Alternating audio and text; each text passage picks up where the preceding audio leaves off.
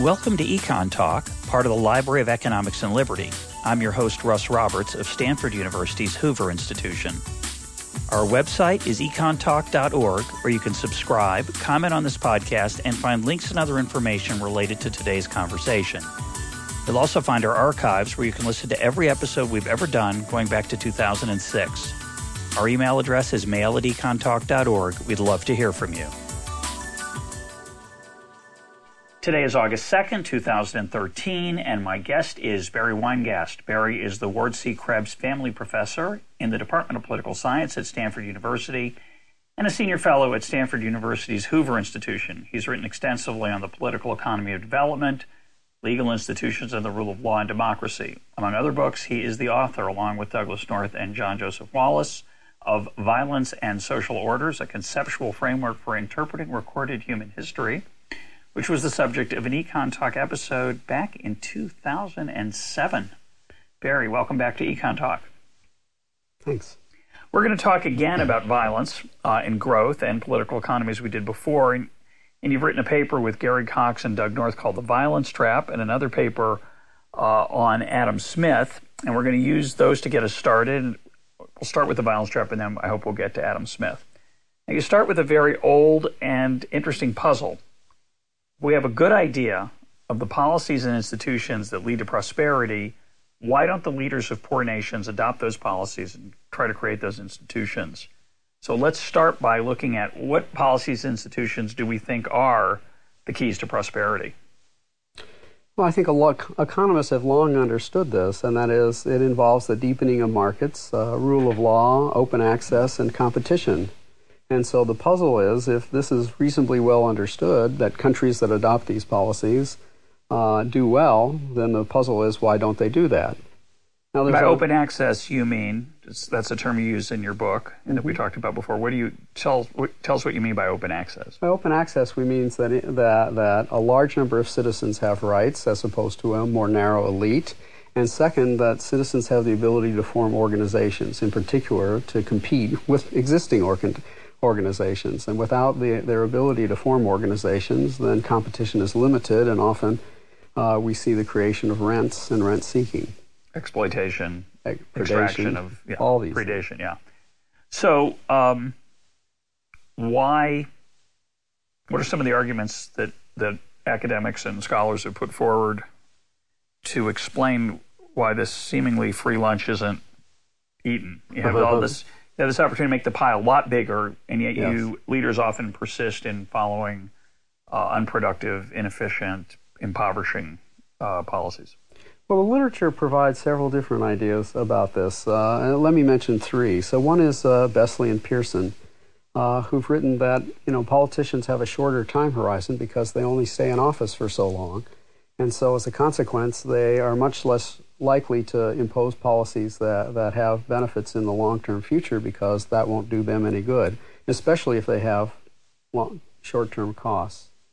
Another set of arguments uh, uh, goes back to Can Doug. I just stop you on that for a sec? So, if you're a dictator, mm-hmm. uh, it still could be the case that the reforms might take longer than your lifespan to, mm-hmm. to, to come into play. Mm-hmm. So, it's not just that you're in the mm-hmm. Congress for two years, or right? Mm-hmm. Okay, go ahead. And with dictators, there's the problem of coups. Yes, and there so is. that that reduces their time horizon. We'll talk about violence uh, in a minute, and, and some of the and I'll give you some statistics about uh, turnover in uh, especially in poor countries that relates to uh, dictators. So go ahead. So that's one argument: is that short time horizon for yeah. the decision makers. Yes, and then we come to an argument advanced uh, by Doug North in his 1981 book, uh, Structure and Change, and Acemoglu and Robinson in a 2006 paper. And that is that many of these changes reduce the probability that the incumbents will stay uh, in office, in part because uh, reform um, creates powerful alternative actors who want control of the state and want to kick out the current people. And so, as a consequence, this is a barrier to reform. Sort of a risk aversion argument. It's a, it's a risk aversion and a future. Bird in the hand is worth seven in the bush, uh, yes. right? So you, mm-hmm. it's true you could be richer, but you might not be empowered to, to be able to mm-hmm. to grab some of it. That's right. Okay. Any other literature you want to mention? Well, I wanted to mention the Rodrik and uh, Fernandez, or Fernandez and Rod- Rodrik paper. So, one of the things they observe is often the beneficiaries of a reform don't know who they are. So, if you create competitive markets uh, that will produce uh, a whole bunch of wealth for a large number of people, those people tend to not know who they are uh, prior to reform. And as a consequence, there's less pressure for uh, reform while the current incumbents uh, who, who, advantage, who are advantaged by the existing scheme um, are there to uh, lobby against. And so the politics weighs against in, in, their argument. And I think these are three different interesting arguments, all of which point to political mechanisms against reform. We have a different explanation. So, what are you proposing? Well, um, in our view, and this gets to the paper that uh, uh, uh, Gary Cox, Doug North, and I have recently written, um, the problem is really the violence trap. And, and I want to begin by pointing out that I think economists have missed the, uh, the, the, margin of violence uh, in the developing world. And as a consequence, they miss how um, developing countries organize themselves in a way that, that at once reduce the probability of violence, but also uh, create problems for economic growth. And there's a tendency, uh, as, as in Collier's book on the, the, the, bottom billion, for example, to think about violence as something that happens in failed states. That there's a small number of states like Rwanda or Yugoslavia or Somalia uh, that go through these periods of violence, but, but, but they're isolated. Whereas our view, this is much more systematic. So, shall I give you some data? Yeah, yeah, let's hear. So, so by the way, when you when you talk about violence and economic development, I always think of an example that I, you know, I learned from Walter Williams. That most of human history, the way you got richer was to bang your neighbor over the head and take his stuff. Right. And you know, the insecurity of property rights mm-hmm. is obviously a deterrent to innovation, accumulation, Absolutely. et cetera. But you're talking about a different level of violence. You're talking about national violence at the national level, civil war, revolution, right? Well, I think that they are related, but yes, I am talking about civil war, revolution, and I will mention coups. Yeah. Especially coups, because coups are a very important form of violence, very prevalent relative to the others. Uh, as far as uh, leadership turnover goes, um, and so all those, uh, uh, but all those are very important. And when new leaders come in, they tend to have new factions, and they tend to expropriate or predate on the property of the existing people. So that means that investments ex ante are insecure in just the way you said. And so the violence trap does imply that insecure property rights enhance problems with investment. In particular, um, a lot of people are will forego otherwise profitable investments because they're concerned that if there's violence, that those investments are worth nothing. And so, so it's not it's not just the mob in the street or the caveman next door taking your uh, uh, saber-tooth tiger skin rug. It's also the new guy in office has a different set of. Fr- you might have been on the good side of the current leader, so your house is secure. But the new guy likes your villa, and his friends come take it. Yes, okay. your villa and your business. yeah, more than yeah, right. Uh, uh, or your land uh, in, in, a previous era when land was so much uh, the major asset. So let me give you some data on this. Um, if we're concerned here about violent leadership turnover, so we're going to discuss a regime. A regime is a country, and we're going to find a, a, regime in a country as uh, lasting as long as there's peaceful turnover in leadership. So that means if there's a coup, a regime ends. It also means that this is a very narrow definition of regime change because if we allow for a, a constitutional change, uh, as regime change. That's not included here. So we're only looking at leader, violent leadership turnover. So in this world, the U.S. has one regime since 1789. Correct. Because we've never had a, as far as I know. That's right. Uh, we've so we've had, had violence, a civil war, but the civil war did not res- uh, result in the takeover of the government. The South failed. Okay. So as a consequence, we've had one regime, and we're of course the the U.S. is of course the longest lasting regime. It's the order statistic. Is it? I didn't realize. I didn't know that. Yes. Is that true? I think so. So, um, if we look at the uh, prevalence of violence uh, in terms of regime change, uh, violent leadership turnover, what we see if we look at the poorest half of the distribution since World War II, the median country has violence. Uh, the median poor country has and poor violence, defined as uh, the bottom half of the distribution right, okay. of, of countries. And so, if, Uh, the, the median, median, within that half. The median within that half experiences violence every seven years. A regime change. Yes. Violence of the level, not just some fighting outside the palace. Correct. That's but shocking. Presumably, there's some of that too. How yes. many countries are we talking about here, roughly? Uh, well, in the data set, well, I guess it changes yeah, over time, but it's it, yeah. it's a lot of countries. It's a lot of countries. Yes. yeah. Which means that you take that number, divide it in half. That means at least half of that, or roughly half, not at least half, half of that have had violence every seven years or more frequently. That's right. Which is very frequent. Yeah, a good ten percent, I think, last only one year. Uh huh of poor countries. That is, poor countries in the second half, the, the bottom half of the distribution. Now, the next category to look for is the richest uh, developing countries. So these are the so-called middle-income countries like Mexico, Argentina, uh, India. And if we look at this category, the median um, regime lasts uh, 12.5 uh, years, so a little more than 50% larger. Whereas if we Still look not at, so long, not so long at all. not the lifetime of a of a house or a, a land. Just serious. Less than a generation. yeah. So this means that most people in the world, so we're talking about 90% of the countries here, uh, experience violent regime change in their lifetime. 90% of the world, in fact. Well, 90% of the world's countries, but yes. but if you start with China, yeah. China's had uh, one regime change since World War II, correct? I think so. Mao's revolution. Yes. So a billion people have lived in a very stable system by this definition. Of course, as you point out, it's, just, it's an extreme definition. Yes. A lot of change in China. A lot of change period, in China. Not no regime doubt. change. Yes. Not violence. Uh, not violent turnover. Certainly Correct. Cultural violence. yeah, violence of See, all this, kinds. This again gets to the point about how it's underestimating violence For because sure. the Cultural Revolution, you can kill off 10 million people, and uh, that's not counted here. Correct. Although that was certainly a deterrent toward um, long-term planning for many of the I people lived that's through right. Yeah. that has the same effect. Yeah. Lowering time horizons and reducing the incentives to invest. Yep.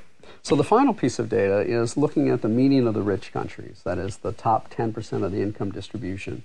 Uh, and here the median is just dramatically different. The median country. Uh, and these are these are U.S., England, France, Yes. Japan. Netherlands, Denmark, Yep, Austria, uh, Sweden, the Nordic countries, of course. So, so uh, uh, uh, the median here is 60 years.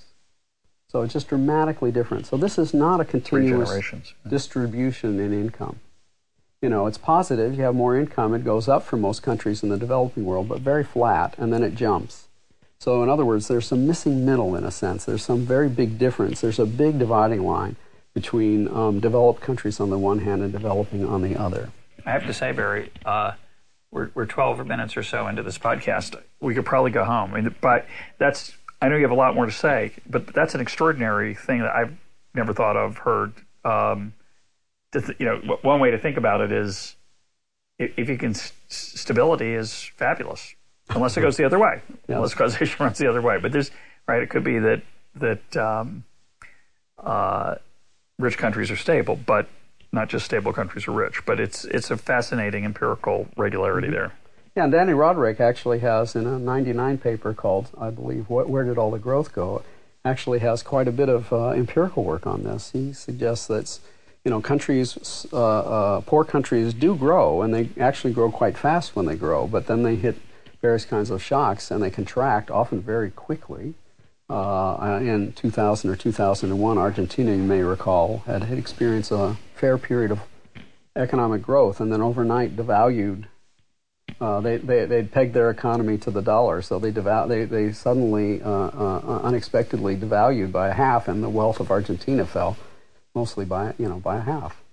So uh, that's quite common that there's these uh, various kinds of growth shocks. So, what's the explanation for this level of violence in, or excuse me, what's the implication of this level of violence among poor countries? Well, I'm glad you asked. That's the key question, I think. And that's where we get to uh, the question, uh, again, of economists missing the margin of violence. Because violence is so prevalent, it means that uh, countries have to organize themselves to reduce the probability of violence because it's so awful. Uh, and so this, these figures that I've given you are, uh, uh, in, in a sense, better than they actually look because these countries are organized to reduce the probability of violence. So the key implication is that all states have to reduce the, the probability of violence. And one of the problems with that is that there's a dis- there, there, tends to be in these countries dispor- dispersed sources of violence. Uh, that is means multiple people have uh, uh, access to violence, and so there's no state that has the monopoly on violence that we tend to think about in our developed world. That's a characteristic of the developed world, not the developing world. That that the state is the one who gets to have put people in jail, yes. shoot them legally, yeah. etc. And there's very little organized violence that that that can fight the uh, sovereign commands, for example. Uh, so if we think about Mexico, so Mexico is a, a re- relatively rich developing country. So it's more sophisticated and more organized and, and, and, and to reduce violence. And yet there are multiple sources of violence in Mexico. So besides the government, we have uh, Pemex, the oil company, the uh, state-run oil company, and it has so many workers, the, the so many more than they need, largely because it's a private army. And so, if Mexico wanted to reform Pemex uh, into a more efficient organization and one that captured fewer rents and, and provided more benefits for Mexicans uh, uh, in various forms, uh, they'd have to fight this army. Similarly, with their teachers, teachers' unions, for example, have shut down states when they don't get what they want. Uh, and and, uh, and, of course, then there are the drug lords, and there's also the fighting Chiapas and the uh, indigenous population. So there's four alternative sources of violence in Mexico uh, and it's one of the rich and better organized states. In fact, it's had very few coups since the 19, since 1930. I have to say something about emergence mm-hmm. uh, and and coordination. You you spoke somewhat casually when you said states have to find a way to reduce violence, or states look to find ways to reduce violence. Obviously, the people in power don't want to be overthrown. They're, right. they're not trying to create institutions that reduce violence in some general sense. They're trying to keep people who don't like them from overthrowing them. That's a very there's nothing that's a very natural organic force, uh, and it's as you point out, maybe perhaps surprising how bad they are at it, given that mm-hmm. they have a very natural incentive. Mm-hmm. So how does this tie in back to development? So I I've gotten a little off the track in my own head. We, we you made the observation that violence is endemic in the developing world in this de- definition you have of regime change. Why is that significant? Is it is it simply that that reduces the incentive to invest? Is it the violence itself is destructive? Uh, where's the trap? What's the trap here that we're trying to the use trap to explain is our opening question? The, the trap is several fold. So first of all, there's the actual direct incentives that the threat of violence has. So that in, you know that that reduces the returns from investments, especially investments of economic integration across lines that are likely to fight. And so, as a consequence, um, there's much less of that integration of the economy, less specialization in exchange, less investment, the classical sources of economic growth.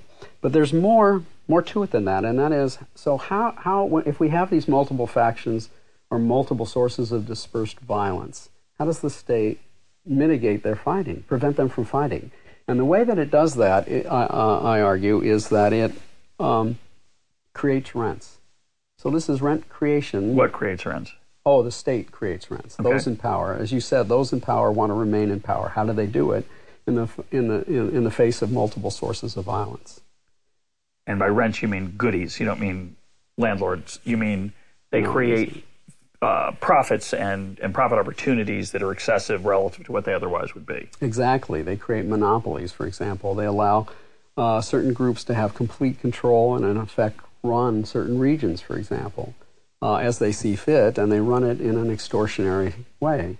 Uh, there's, you know, prevalence of monopolies. Uh, there's there's uh, uh, limits on the degree of competition. There are tariffs, all kinds of different instruments that countries use um, to manipulate the market for political ends, uh, and in this case, to push rents toward those who are powerful in a way that those who are powerful are more are better off cooperating with the regime uh, and, and, and consuming their rents instead of fighting. Uh, and they can so do it's a payoff. It's so there's a real a payoff. payoff. Yes, it's a bribe to to keep uh, certain groups uh, incentivized to keep the status quo. Mm-hmm. Okay. Yeah. And one of the key results uh, in, in the paper, we have a bargaining framework that I, I, I won't won't get into. But the key result, I think, we call the uh, uh, proportionality principle, the principle of proportionality. That is, it's the idea that rents have to be in proportion to the power of the different groups. And the reason is, is the more powerful you are, the greater the returns from fighting. And so, if we need to incentive, give you incentives not to fight, we have to give you, if you're more powerful, we need to give you more rents. So this also means that if you have little power, little access to, you know, very little access to organization and violence, you get cut out. Yeah. so Bates's story, for example, about the African peasants. The peasants are in the countryside. They're not easily organized. Uh, they've got to attend their crops, and so as a consequence, uh, they're the ones in the regime that are exploited uh, by the rest. So in this story, the problem of violence isn't. It's not so much the direct effects of uh, that violence destroys mm-hmm. um, resources, which it does. It's purely mm-hmm. wasteful in the mm-hmm. in some dimension, and it's not the incentives. It's that the way you best cope with violence is you mess up your economic system, is exactly. what you're saying. Yeah. Exactly. See, and economists have a tendency to look at this and see, with, without recognizing the margin of violence, they look at this and they see what they call market intervention. And the observation is clearly correct. That is, that the, the politics is manipulating the economy for political reasons. And so they're preventing the economy from be, being this great engine of growth. Uh, and economists, uh, in the standard kind of uh, recommendation for reform, they say, well, undo those constraints. And they think that this will make everybody better off. Because the pie is going to get bigger, because you're going to have all this expansion of trade and yeah. investment. But the problem is, is again, as I've mentioned, they've missed the, the, the margin of violence. And so if rents are the glue that's keeping the peace, then undoing these rents undoes the glue. It's insanity. Yeah. yes. And so even people that are exploited are willing to support the status quo because being exploited under peace is better than uh, being in the middle of uh, a great disorder. So, what I think, I don't know who's, I don't know this literature very well, but it, the, the standard way I used to think about this, and it's, it's probably in a we probably talked about it in a conversation with Bruce Bueno de Mesquita a long time ago. But you know, I tend to think of well, if you just follow better economic policies, the pie would get bigger, but it's hard to redistribute that larger pie in proportion to what people currently are getting. Mm-hmm. So even though the average mm-hmm. person is going to be better off, you can't necessarily mm-hmm. compensate. Mm-hmm. You know, as economists often like to pretend they can. Mm-hmm. They, when they talk about efficiency, they you know say, well, we can make everybody better off. Mm-hmm. No one will be worse off. We could after this change, but of course there is no cheap, transaction-free, cost-free mechanism for right. redistribution, right. and so that's what keeps things from happening. That would be enlarging the pie. But you're making a, a more dramatic argument. You're suggesting that it's not just well, it's hard to redistribute the the goodies. It's that if you make the pie larger that way some people are going to get really mad and they're going to kill you. Yes. and you're going to get no goodies. You're going to be That's exactly right. There's a real gonna... ex- existential threat here. Yeah. You know, which again economists tend to ignore the idea that people might come kill you. You know, because you're you're you're the, the masters of the status quo. It's been an oppressive system, uh, and so that that that is a really important block to uh, the whole problem of reform. So, this in essence is the violence trap. The idea that um, uh, the way out of the violence trap is through economic integration and reform, but you can't reform if there's a threat of violence. And so you're in something of a trap. Uh, Adam Smith said something like this, uh, not referring to violence, but he said, Till some stock is produced, there's no division of labor. But without the division of labor, there can be no stock. So, stock is his notion for capital.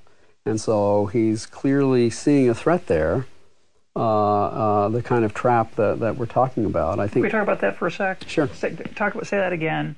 Read because if you don't know that stock is capital, the first time you hear it, you're confused because you're going to think about the stock market. So read the quote again, which is a, a great quote about the challenge of igniting prosperity. Right? It, yeah. it says your stock. So remember, Adam Smith opens the Wealth of Nations with the idea of the uh, uh, uh, division of labor. That the division of labor is the source of specialization, exchange, and how people get rich. Uh, and so that's the key, one of his key features, uh, ideas about economic growth. He has others, but that's a key. So that's one. And the other one is that stock is his word for, as you mentioned, his word for capital. And so here's the quote, or the essence of his idea. Till some stock is produced, there can be no division of labor. But without the division of labor, there can be no stock that gets produced.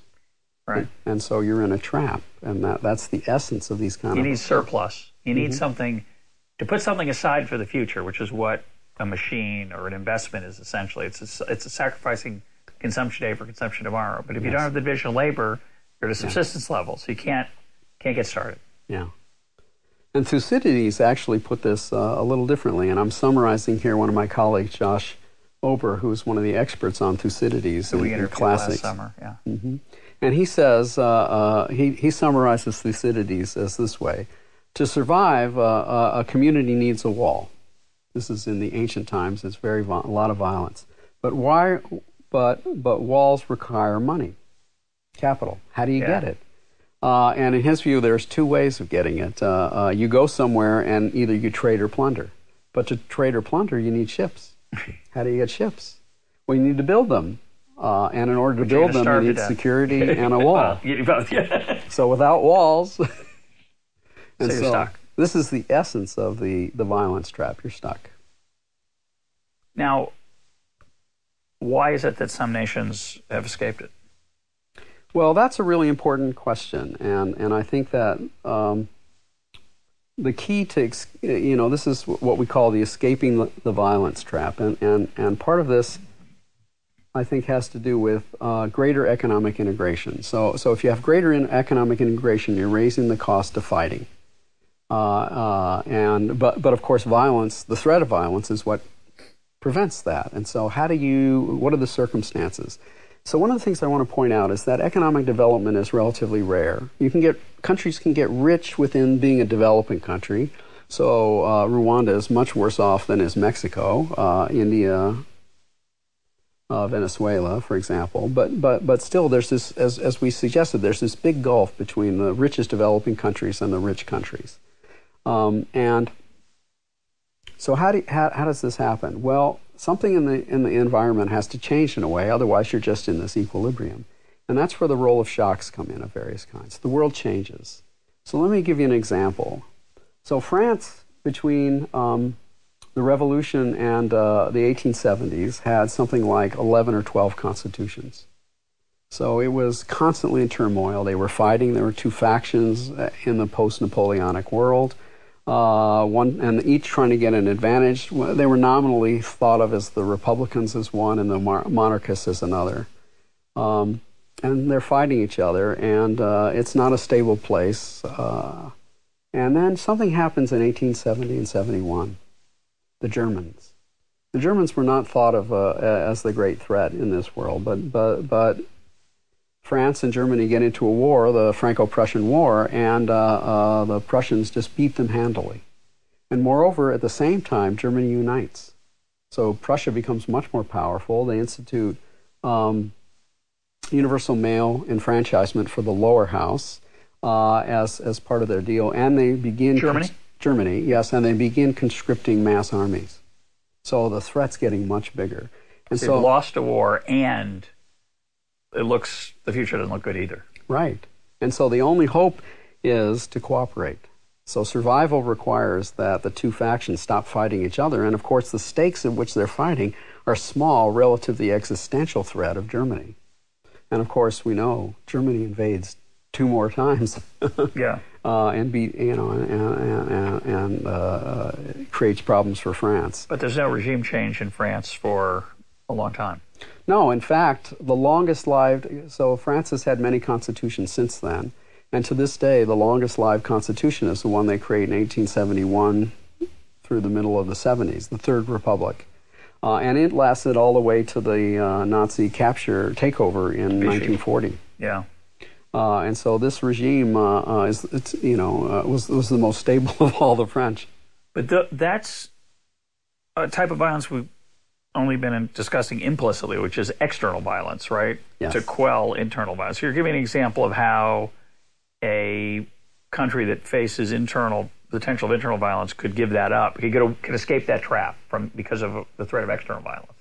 Well, I think part of the idea is the external threat serves as a commitment device. So one of the problems with the two different sides when they're fighting, I, I didn't mention this in the theoretical discussion, but one of the problems is that shocks regularly change the um, relative capabilities of the say, say of the bargaining parties. And remember, we have the proportionality principle, the idea of uh, that stronger uh, people with stronger violence potential have to receive greater greater rents. So if there are shocks that occur that change their relative capabilities, then you need to adjust the flow of rents. Now, if you and I are potential um, uh, uh, uh groups that might fight, uh, and I know that your capabilities have risen and mine have diminished, then we can bargain. I, I might not do it happily, but I know I have to because if I don't, you, are going to fight me. I crush you. Yeah. Now there are two problems with that, with those kind of bargains. One is is the idea of asymmetric information. Uh, that is, you may become stronger in ways that you know much more about than I do. Correct. So I know you become stronger, but I don't think you become that strong. And you might not know that my particular strengths are ones that are particularly dangerous to you, or yes. vice versa, or they're un- relatively undangerous. Yeah. yeah. And so, as a consequence, if if you're you think you're much stronger than I think you are, then the highest bargain I'm willing to give you is lower than the lowest bargain you're willing to accept. Right. In which case, we have to fight. Right. So that's a standard model Jim Fearon and, uh, and others have had about fighting, international fighting. Because on the surface, fighting is stupid. Yes. Uh, excuse me, not, not th- th- those models are in the, the, the world of international fighting, and I'm using it here within factions within a country, same principle. Uh, and so the way that the international threat, so now we add to this mix international violence. And so the way the international violence works is it changes the incentives of the parties because the amount I want to take from you is small relative to the amount that the outsider is going to take from both, both of, of us. us yeah. Uh, and so as a consequence, we start to cooperate. We see this quite regularly in the world. Which is fabulous because, mm-hmm. intellectually fabulous, because mm-hmm. it's hard to understand why people suddenly can get along. But it's you're saying there's an incentive often. Yes, an incentive, yes. So former enemies become uh, fast friends. And so I think this is an example. And it's uh, and the number of countries that have this kind of existential threat uh, in the modern world are relatively small. So Korea and Taiwan are, are examples. Uh, but so many other countries don't have this kind of existential threat. Uh, this gets us to the work of Bob Bates, kind of moving far afield. But one of the things Bates argues in his 2000 work, 2001 book on violence and prosperity uh, is that uh, the the developed world polices the borders of the um, developing countries, and as a consequence, uh, it's very hard for them to face these existential threats. Uh, and so, uh, uh, as a consequence, this mechanism of the outside threat is is not very prevalent in the modern world. I'll go back to Korea and Taiwan. You're mm-hmm. suggesting mm-hmm. that the threat of Chinese aggression. North Korean and Chinese aggression, yes. Makes South Korea and Taiwan more uh, prone to mm-hmm. cooperate with internally. Their mm-hmm. factions are, are less uh, mm-hmm. prone to violence, and then you can get good economic policies. So you're suggesting that the growth rates of the rather extraordinary economic performance of South Korea and Taiwan are politically possible because they uh, are worried about an external threat. How do you then explain China's growth rate and China's liberalization? How, how, did they? Well, I'm not saying this is a necessary condition. I mean, China, I think, is extraordinary. I do think that they that they did perceive uh, an existential threat, given that they were an aggressive communist nation in the uh, uh, mid 70s at the death of Mao, and that they did um, worry about how they would um, survive. And so, if you look at the initial history of reform, um, Deng Xiaoping is the master of reform, but he's not the initial leader. Instead, there's a more a modestly liberal, more liberal leader than than, than Mao, and um, uh, everyone knows after the Cultural Revolution that had just ended uh, that uh, you needed more economic growth in order to get back on the road toward prosperity and survival. And the modestly liberal uh, leader was unable to create this, and so uh, he was removed, and Deng Xiaoping came to power. And remember, Deng Xiaoping didn't set out to, for gross reform. Um, he did it very incrementally, and he really believed in the Pareto principle, in the literal Pareto principle, which is which is the idea. It's not that in principle we can make everybody better off, and no one worse off, but off. every step has to make people better off without creating big losers. So the first thing that he did was reform uh, uh, agriculture from the collectivization uh, the, and, and, and, that very failed model of production uh, uh, in the countryside. led to famine and millions of deaths. Yes. Uh, he created reform so that people had long-term leases and private and with along with privatization and agriculture production of grain doubled in two or three years. Yeah. And for the first time, the countryside was able to feed itself because under the Mao, as you said, uh, there were there were famines. Uh, the Mao uh, system was exploiting them. They were hard to organize, so Mao system exploited them by underfeeding them, uh, expropriating so, their grain. Right. Mm-hmm. Yeah.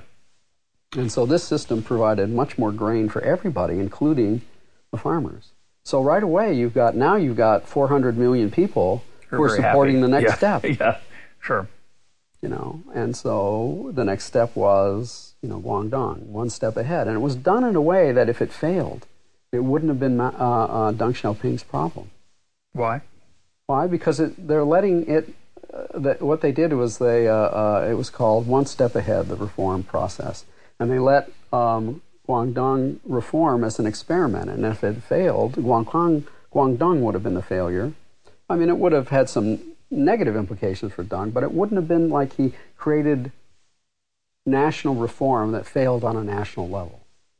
Uh, and, and, and, he didn't choose a random place. He chose the place that was most likely to succeed. Guangdong being the old, uh, with the old Shanghai, being the trading, one of the trading uh, entrepôts of China in, in the years before Mao. And so they, they had the most ties to capital, uh, Chinese capital around the world from people who had fled. Uh, and in, as we know, the rest is history. You know, it's, the, the experiment succeeded and was imitated. Yeah, internally. Mm-hmm. Yeah. Um, what about the peace trap? Um, the good kind of trap. One has the impression, which I think is overrated, but most Americans, I think, believe that there is no chance of anything changing in the United States of almost any kind. They can't imagine. Um, well, lately they're starting to imagine it, but but in general, that, that, something would fundamentally change in the U.S. It seems extremely stable. The odds of a violent coup, the odds of the military, say, overthrowing the government, the odds of the mafia overthrowing the government, mm-hmm. um, minimal. So, not just minimal, unimaginable in the literal sense mm-hmm. of the mm-hmm. word. People can't imagine. I can. I can imagine it. Mm-hmm. I, I as you pointed out, in world history, these things happen, mm-hmm. but they happen infrequently, mm-hmm. as you point out, it, in the in the wealthy countries. Mm-hmm. Are we all set? Could we fall back into a a violence trap, or are we going to cruise along? No, I, I, I agree with you. I think that there is a possibility of falling back. I don't think it's very likely, but it's not zero. I mean, excuse me. And one example, for example, one example is. Uh, Suppose 9 11 uh, had been the first of many. Right. So, one of the things we know, if you look at opinion polls uh, after 9 11, is that uh, a majority in the country favored trading off rights for security. So, suppose there had been one every six months, for, you know, just on average, for 10 years. The world would have been so much different than, it, than, than the world. Uh, our world would have been so much different, and there would have been a significant reaction on the part of the uh, government likely to create more security, a significant demand from the people to create more security, uh, even at the expense of rights. And we could see a very different United States because the margin of violence had suddenly changed. But let's keep let's keep on that story for a minute. So, mm-hmm. and I, I, you know, I qualify what I said a minute ago because we're at a time now where people are very um, they're concerned about the NSA um, surveillance. They're concerned about the political use of the IRS. We don't really know what the full story is there. Uh, so there is, I think, a little slightly heightened awareness of the potential for the abuse of power mm-hmm. at the at the national level, mm-hmm. especially mm-hmm. when it's classified, where mm-hmm. you know we, we, can we can imagine the worst. Um, if there had been a series of violent acts from the outside, so there might have been some removal of of individual rights. There might have been uh, more surveillance, more uh, mo- camera monitoring, more preventive arrests, even than, than we have now under our current system. I don't know if you saw it yesterday. I, I think it's a true story. Somebody had been Googling backpacks and Googling crockpots. And that reminded the employer of this person that of the Boston Marathon bombing. And so a team of scary people showed up at this guy's house to know why he'd been Googling backpacks and crockpots. Um, pressure cookers, excuse me, Right. not crock. I think you're safe with crockpots, listeners. Uh, it's pressure cookers, maybe Yes. is what the dangerous search term is. But anyway, that would have, let's say that happened. I'd have been upset, disappointed, perhaps. I hope I'd have been one of the people who would have said this is a bad trade off, but maybe not. Maybe I'd have gone along and said it's necessary to preserve uh, our security, reduce the odds of these horrific attacks as, as we were imagining that they were frequent. Um, would that change the odds of a regime change? If if we lost some rights, First Amendment rights, search and seizure rights as citizens, are you suggesting that we could move to a world where we wouldn't have civil, peaceful elections and transfer power between Republicans and Democrats? Um, What I, story do you have in mind there? it's fascinating thing to think about. I don't think that's very likely, but I think it's possible. And I think that the reason is is that in the drive to create more security, uh, people would willingly support compromises in not only rights but the rules of the game. And so Congress, for example, is a could be seen as a problem by the executive branch because there's so many leaks. Uh, and it's in the way they have, uh, you know, all, kinds of uh, uh, special interests that they're trying to protect in the ways that security goes. I can talk at great length about the Homeland Security Act and all the politics there and the way in which security, the provision of Homeland Security, was greatly compromised by the nature of the political exchanges. Uh, and I think we'd see a lot more of that uh, if there was more legislation needed. And as a consequence, you can imagine that the executive branch reacts to this by trying to say they're, they're an impediment to solving our problem. And remember, there's lots of violence that's going on from, from these terrorists. Uh, a large number of people, I think, would, would, would, support this. As I mentioned, with the, um, uh, with the opinion polls after just one event, that, that a majority of the country, I think, then felt uh, that it was okay, you know, that these compromises were okay. I don't think a majority now feels, but we've had 12 years of relative peace, relative absence of these terrorists. Whereas if we had one every six months, I think people would feel much more insecure. And I guess to play along with your um, unpleasant thought experiment, um, in many ways, I think there are a lot of people who are violently, who are violently um, opinionated about either of these very discrete binary choices. Mm-hmm. Right? They either think we need a lot more security or a mm-hmm. lot less. Mm-hmm. And I could see violence erupting between those two groups. I could see um, if it got serious enough, Yeah. right? And, we, and people felt the country was losing its character either because it was insecure or too secure. Yeah.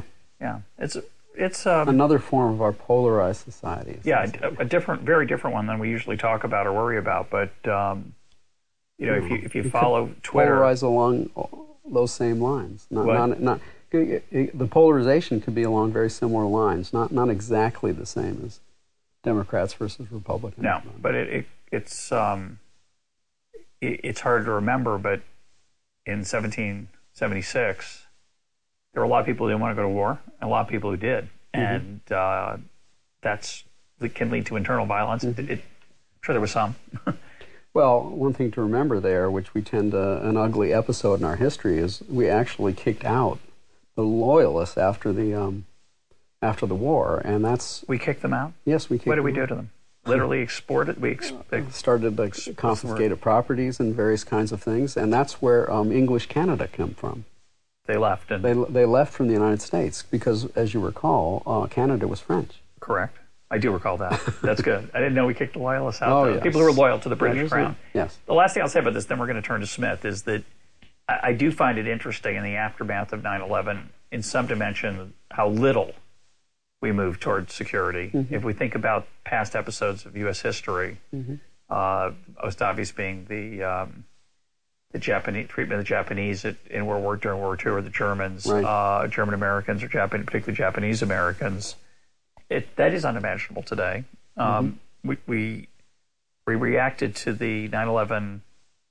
Um, I, I really don't like that we make people take their shoes off and X-ray them, but in the grand scheme of things, it's it's strikingly small. And I think your point's correct. That if it were every six months, maybe it wouldn't be so small. We'd be on a different path. Yeah. Let's turn to Adam Smith. What does Smith have to say about this that's uh, that might be relevant? Well, Smith,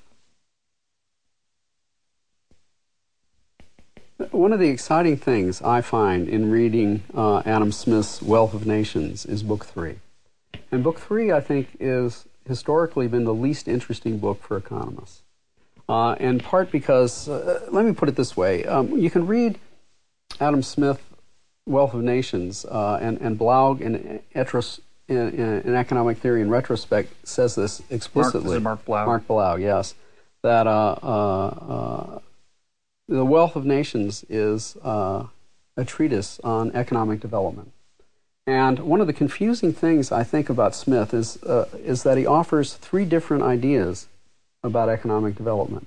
So I mentioned one, the division of labor. You want greater development, you got to create the conditions that foster economic development. Uh, uh, division- Specialization. specialization, exchange, division of labor. Second, uh, he emphasized, in, and, and that's books one and two. And I should say, he explicitly laid out the most important one, which is the size of the market, right? He Yes. said you, you got to have trade over large groups. Yep, larger the market, the greater the division of labor. That Yep. famous phrase. Uh, in book five, he's very explicit about the nature of, uh, book four rather, he's very explicit about the nature of policies. That if you have bad pol- economic policies, um, you lead bad growth. And here's where he talks about all kinds of the guild regulation, monopolies, and of course, uh, constraints on international trade, and hence international specialization and exchange. So economists very, both, both those speak very clearly to modern economics. Uh, the, the, the problem is, is that in book three, uh, he has another, another set of ideas about the political foundations about uh, economic growth. And the problem for economists in seeing it is that it's, it's, it's written differently. This is, this, this is an odd part of the book in a way. It's the shortest uh, piece of the book. Uh, it's only 50 pages. The Wealth of Nations is 1,000 pages, so this is 5%. All the other books are in hundreds of pages. And one of the problems is it's a narrative. So it's hard to pick out what are the key underlying abstract points. The rest of the book is, uh, book one and two is abstract theory. Book, fi- book four very is, anal- and very analytical. Yes, and and, and book books four and five are applications, and just the way economists do that now. Book five is a narrative. So what is book uh, book three? So what does book three say? Well, first of all, he begins with a story about uh, why feudalism uh, uh, was in equilibrium. Why it was. Yes, that is Why why, it it was stable for so long. Uh, And by the way, I didn't remember reading book three. I maybe hadn't before this podcast that you're urging uh, to encourage when I read it. And it's uh, it's a very brief history of the world. Yeah. right. He starts, I think, with primitive ancient times before it's the building of cities. Then he goes to Rome, and then he goes to Middle Ages, and then he gets to the, the present. But it's a it's a very uh, quick Sweeping, overview. yes. Sweeping is the right word. And you're right. It's very different. Yes, and so what he does, he does two things, really big things, I think, in this. In, in this, he concentrates on uh, feudalism as an equilibrium, and then what are the processes by which that changed? How did we get the transition to what he called the the uh, commercial economy? Uh, what we think of as the process of development, a much richer world where there was rule of law, there's investment contracts, uh, competitive markets, uh, and, and of course uh, uh, political and civil rights as well. And so he explains this. And so, um, uh, and I think the violence trap is very useful in understanding what Smith says, because I think Smith's argument about the stability of the Middle Ages is very much a violence trap argument. And so, one of the things he's saying is that there's uh, fighting among the local lords all the time. Uh, that the king is uh, a little bit uh, stronger than the local lords, but not strong enough to impose security. So there's no law in this system. Uh, got And- islands of security, but that threaten to fight among themselves. Yes, and because they're fighting each other all the time, uh, there's what he calls as constant predation. Uh, one of the things he says is that men in this defenseless state naturally content themselves with their necessary subsistence because to acquire more might only tempt the injustice of their oppressors. Yeah. So, in other words, there's very little investment in this, very little specialization and exchange. The vast majority of the population, probably on the order of 99%, is living at subsistence. Uh, and then there's a small elite, military elite, that lives on top of this that extracts from the peasants, and they fight each other all the time. And this reflects the whole idea of the violence trap and the idea of so you and I are neighbor, neighboring lords, and we have an accommodation. Uh, and and I've been a little stronger than you are, and so I've been able to take some things from you and for, or force you to give me things, that is land and peasants, And Uh, threat of violence, and the threat of because violence. I'm more powerful. Yeah. It's kind of you, Barry, in, our, in your example, to let me be the more powerful one. Go, go ahead. Instead of you, you could have said you're the. Well, I was gonna. I actually wanted to do it the other way, but okay. So you're the more powerful one. But what that's what you happens? did, yeah. But you, what, what happens? You don't have a son, and I have sons. And so, while you're more powerful now, uh, 20 years from now, uh, you, you don't have a son, and you don't have a way of organizing. You're too old to do this. And as a consequence, I come back and I we fight again, and you've got to give up things for me.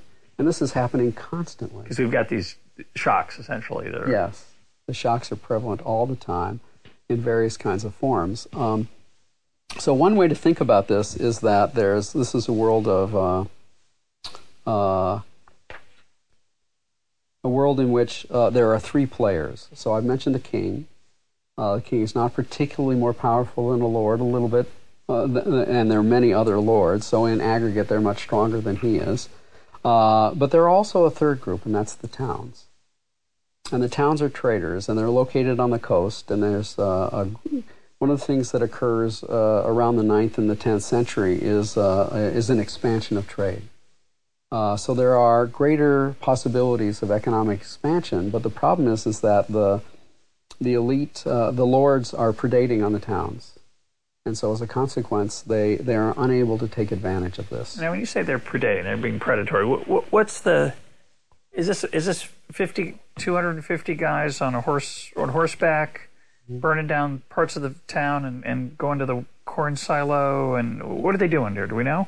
Yeah, they're doing and how exactly do we know? By the way, there's there aren't a lot of they didn't have they didn't have YouTube back in the Uh-huh. 9th and 10th century, so we don't have any we don't have any videos of this. Seriously, how, how do we know anything about There are what happened? and there are there are people that have written about this and tell you know. So there's there's there's plenty of work, you know, both of archaeologists and anthropologists as well as historians, and there's plenty of records There's that not a lot of not a lot of primary sources. of- no, there's not data. by. We don't see that kind of thing. So we don't see the uh, of that. But nonetheless, what we do see is, um, you know, uh, these records of these violence, these predations on the part of the local lords who hate these guys because they're trying to amass.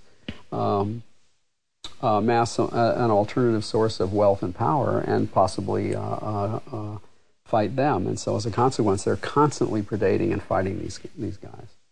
And so, in this world, um, uh, uh, there's in the there, uh, so a political cha- exchange emerges in this world between the kings and the town uh, against the middle. So both are, are both have problems with the uh, uh, with the lords, and as a consequence, they form this alliance, uh, which you can think of as tax limitation agreement.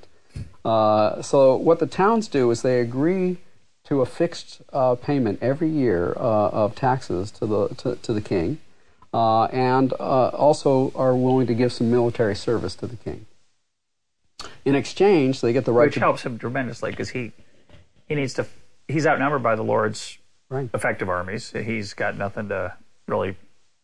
He has no leverage, little leverage. Now he has more. Now he has more leverage.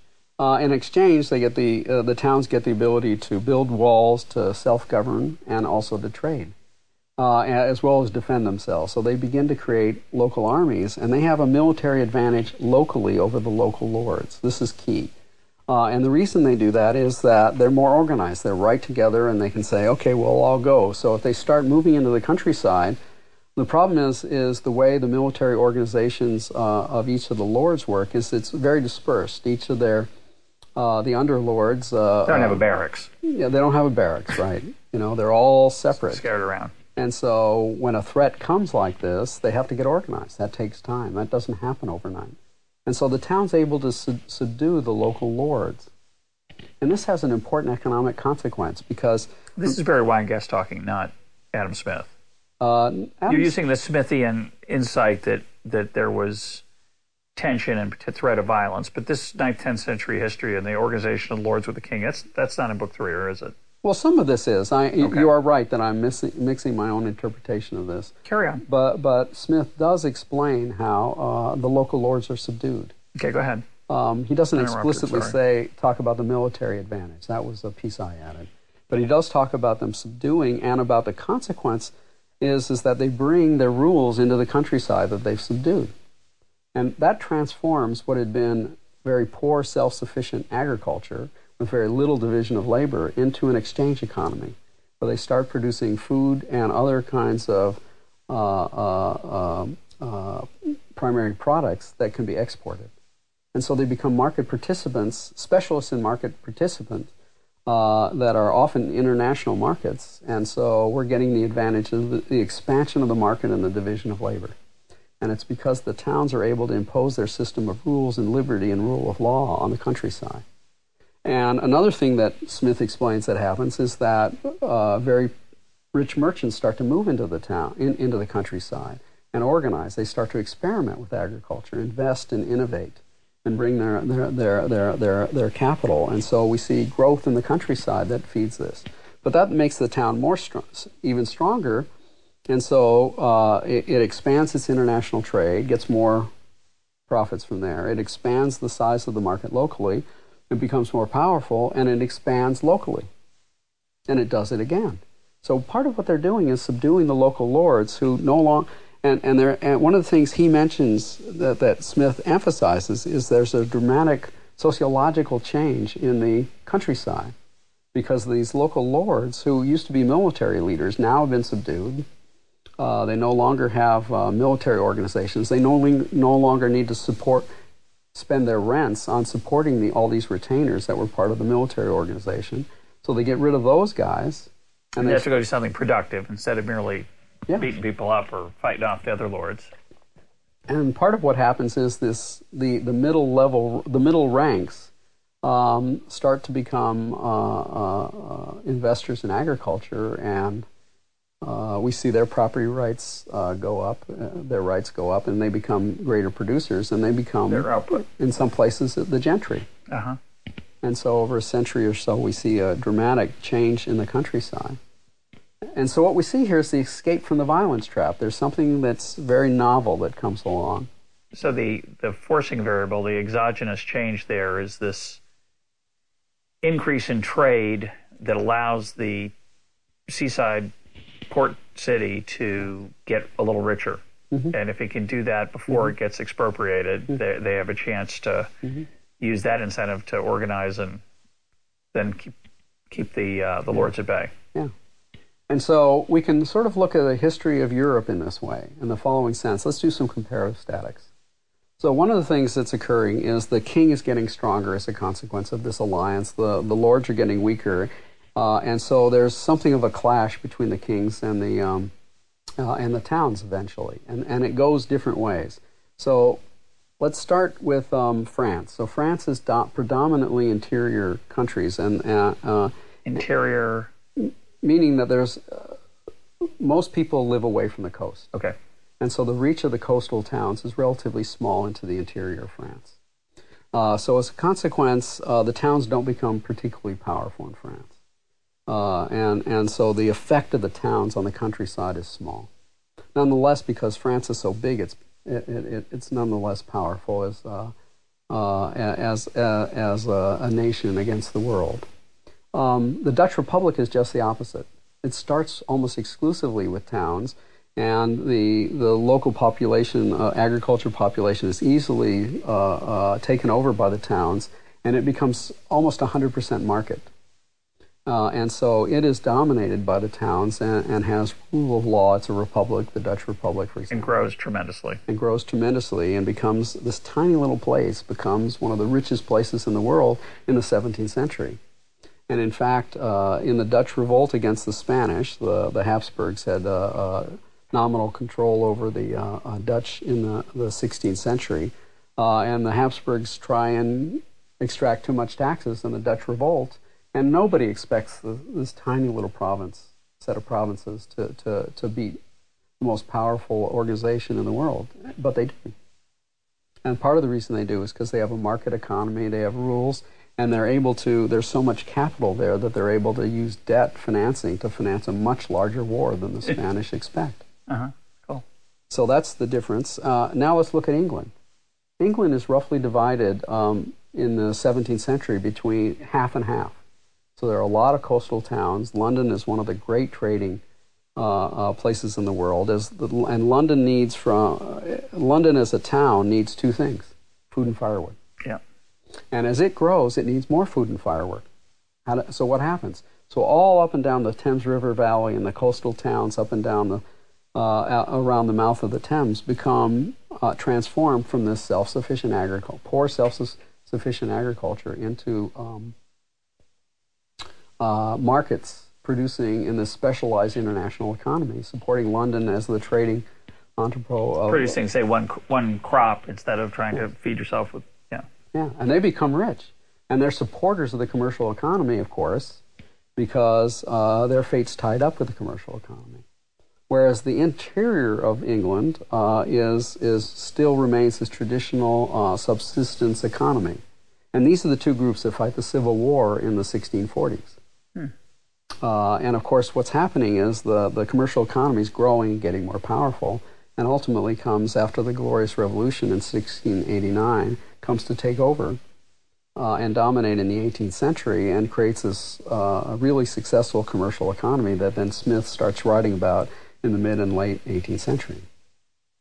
You said the U.S. had the longest mm-hmm. uh, regime. How long is England's? Well, England is kind of hard How to are we going to count tell. Uh, remember, when, when I say America has the longest regime, um, we can think about that in two ways. One is the violence way, in which case um, England's looks longer. Because they go back to 1689, right? Yes. But if we look at constitutional changes, okay. Uh, in that case, so ask the question about constitutions, um, then in that case, the United States is the oldest. The big constitutional changes in, in, the, in the British 19th century uh, dramatically altered the Constitution from a small, uh, from a, a, political nation of a small elite to a much larger uh, universal male franchise in a series of steps beginning in 1832 uh, and ending in the 1870s. I say anything else about Smith? I just want to say that having gone back and, and read book three at your suggestion, um, it's hard reading. I think I'll be able to understand a lot better having heard your uh, your overview of it and expansion of it. But I would encourage everybody to try to read the first paragraph. It's long, it's hard. It's maybe three quarters of a page, two thirds of a page. Uh, but he says some beautiful things about how trade between the country and the and the city between the town and the farm uh, benefit both, and um, it's quite it's quite beautiful. Mm-hmm. Do you want to say anything else?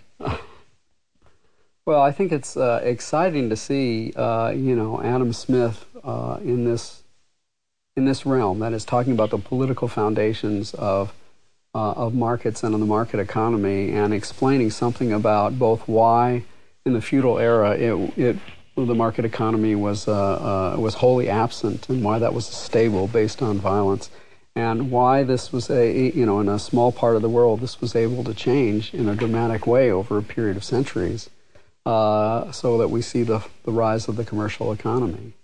Uh, Adam Smith, I think, looking at the larger picture, I think Adam Smith has much more insights uh, about politics uh, and about the organization of politics the macro level politics of organizing the economy and the society uh, than I think he's given credit for. And I think that uh, we're going to see a lot more analysis in the next decade of this as political scientists pay more attention to this.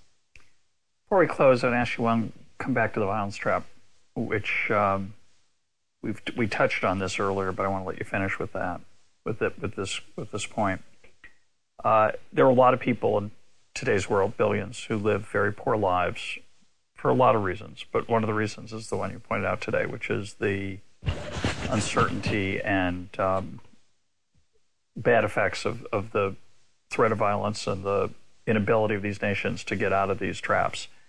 I asked you why things sometimes change. So sometimes there's an external ch- shock, there's mm-hmm. an outside threat, and that causes some internal cooperation. Some often that allows good economic policy to emerge. Uh, we spend a lot of time in the developed world, at least among the elites, talking about how to help poor people. And I would argue that our efforts from the outside to help them inside has those efforts have been quite ineffective mm-hmm. uh, for a lot of reasons. Is there any policy implication from this analysis of the violence trap that you know you talked about outside shocks? Mm-hmm. Um, anything you think follows from this that you want to mention? Uh, yes, and here I'll mention an edited volume that I've uh, produced along with uh, Doug North, uh, John Wallis, and Steve Webb, uh, Steve Webb of the World Bank. Uh, whose title I'm forgetting. That's okay.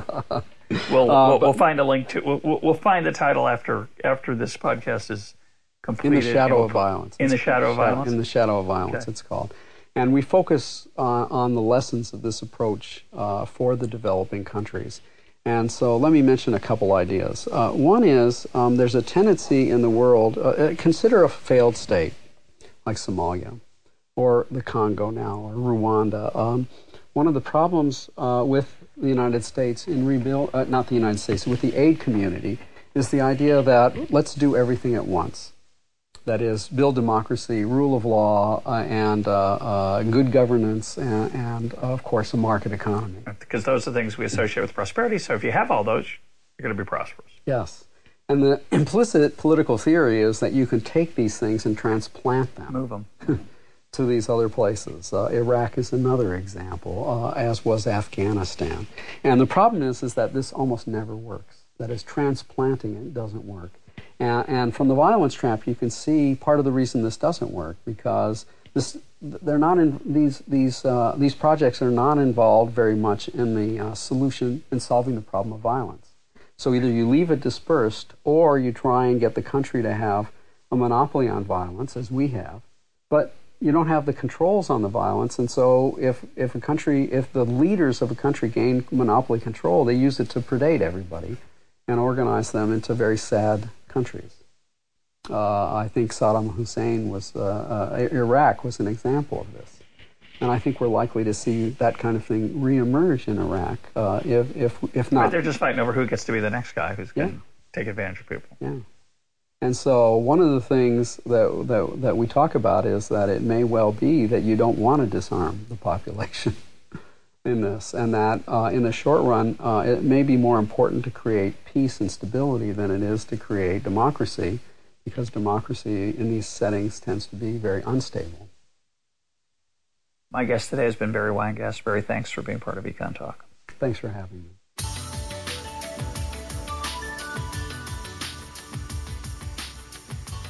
This is EconTalk, part of the Library of Economics and Liberty. For more EconTalk, go to econtalk.org, where you can also comment on today's podcast and find links and readings related to today's conversation. The sound engineer for EconTalk is Rich Goyette. I'm your host, Russ Roberts. Thanks for listening. Talk to you on Monday.